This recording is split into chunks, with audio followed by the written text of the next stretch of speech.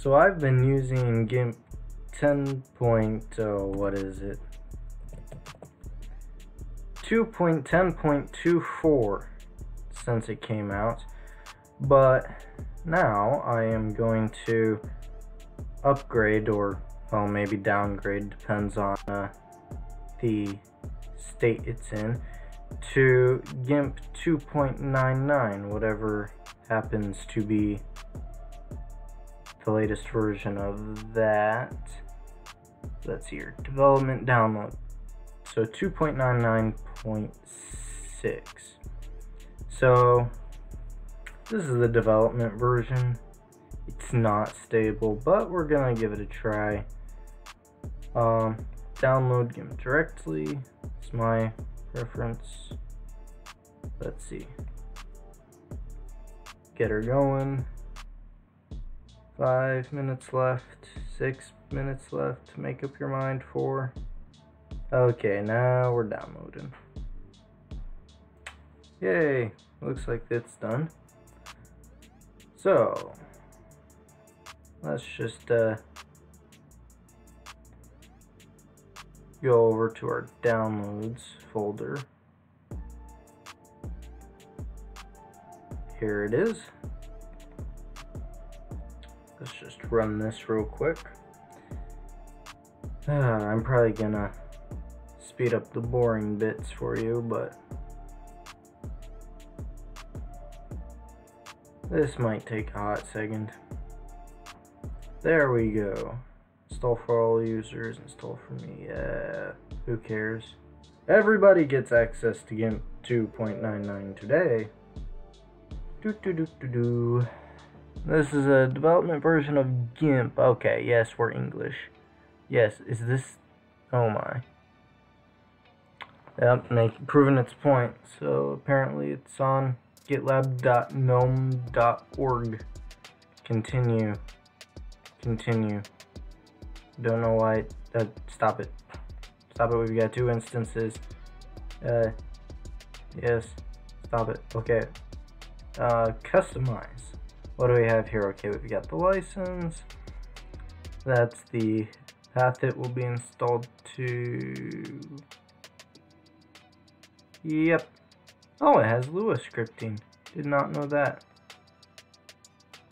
Yay. Create desktop icon, why not? Okay. Yeah, install whatever those are. There we go. Finish.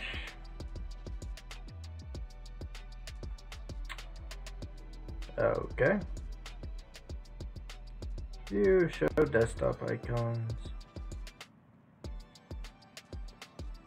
Where'd it go? Ah, all the way up here. Yay. Hey guys, let's hop in.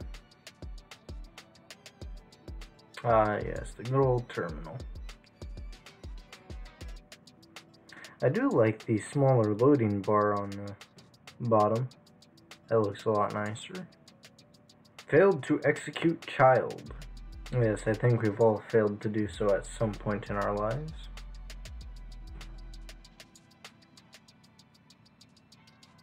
Hmm. Well, this is a bit different. Um, not sure why comes out of the box with the uh, channels dialog floating, but this mode feels a bit different. Like, it's, not quite the same dark mode as um, 2.10.22. Oh, that's that's cool. The scroll bars change color when you click on them. That's nice. That that's kind of annoying how the there's the like icon border and it's not the same size as the layers, but I'll live with it. Tabs position top, bottom. What's this? Oh, that's weird. I, I'm definitely not gonna change that, but let's see here. Now that would be uh, very convenient if you were doing batch editing. So going through a bunch of stuff at once, right, left. I would prefer it on the right, but I really like, since I generally only work with one document at a time, I'll keep it on top for now. Let's see, what does this have in store for us? Ooh, I like these toggles. That toggle is so satisfying. Show grid, oh my goodness. Um, I'm just gonna not enable that. What would be very nice is if we had a CYMK. If we could work natively with CYMK.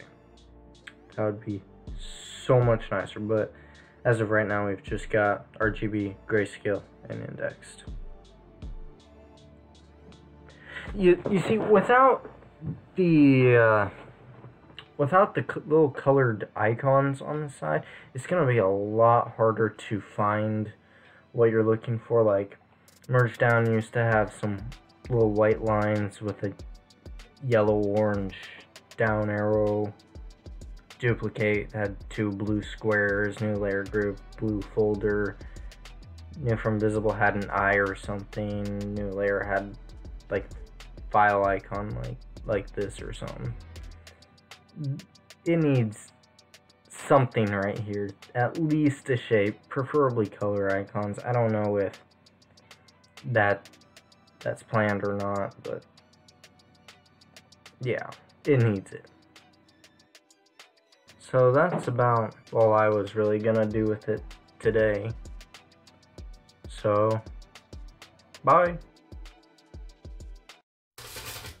Oh, there goes the. Oh, still living. With us in spirit. With us in terminal. oh, that sounds so morbid.